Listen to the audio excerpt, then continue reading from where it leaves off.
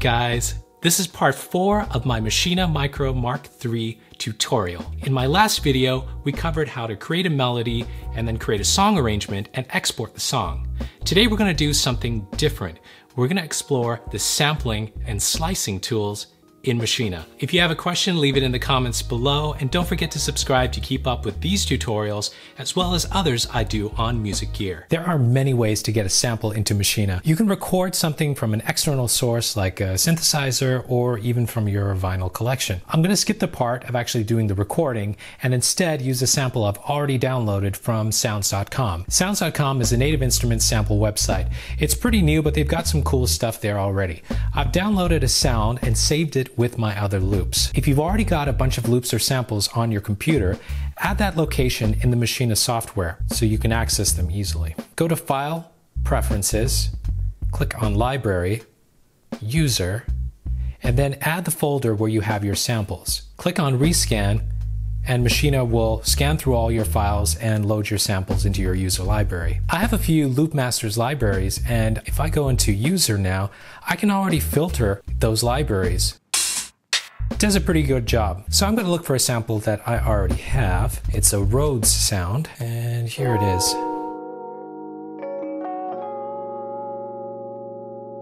I'm going to load that in. All right, so it's loaded into pad mode.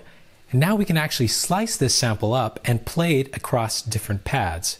Click the sample editor button in Maschine software. It's the squiggly line right here. Click on the slice section. Now in the mode below, you can select how you want Maschine to slice it.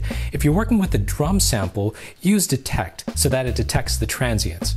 I'm going to use detect on this sample and adjust the sensitivity. So you'll see that it's already sliced it up, but that's too many slices for me. I'm going to adjust the sensitivity down to about, let's see, maybe 18. Let's see if that works. It's good to experiment here because you never know what you're going to come up with. Now the next step is to create a new group. So I can do that right here.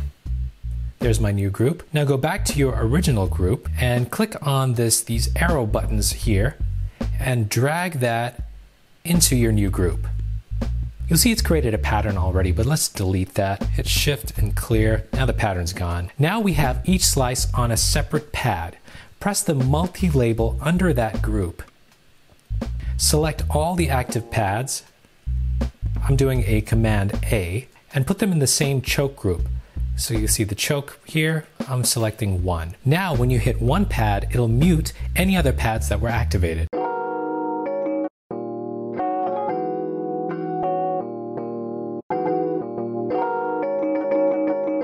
You can adjust your slices right from here, and I'm going to adjust them right now. So I'm going to go to the second slice, click on the squiggly line and click Edit. Now you see the start and end points for that slice. It plays a little bit long for my liking, so I'm just going to adjust it a little bit.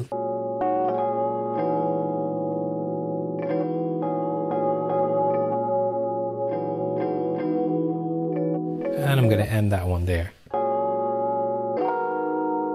I'm going to adjust some of the other slices as well. I just want a little bit of this.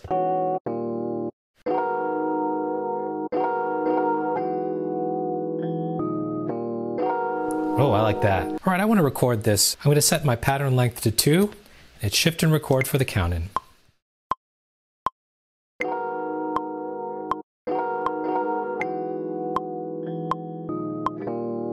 Let's add some drums to that just for fun. Create a new group.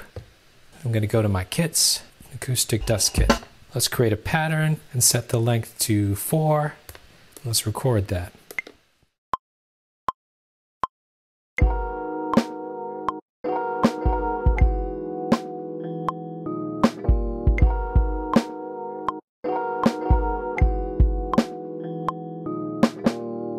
Let's put some hi-hats in there.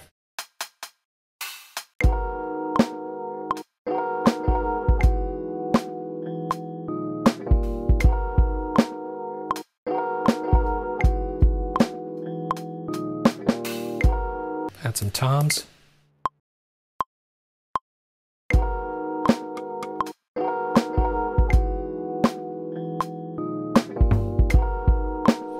Cool. Now let's go back to our sample and let's make this sound a little bit more lo-fi.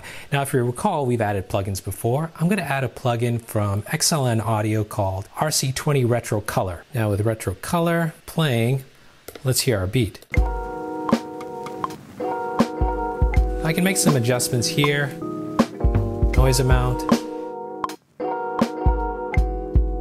Let's turn that metronome off.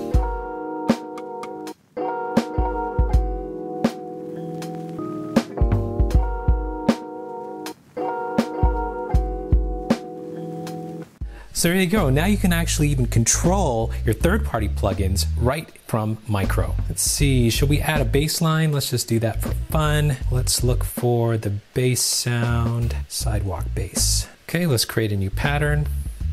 Go to keyboard mode, and I'm gonna put this in major. Set our pattern to eight.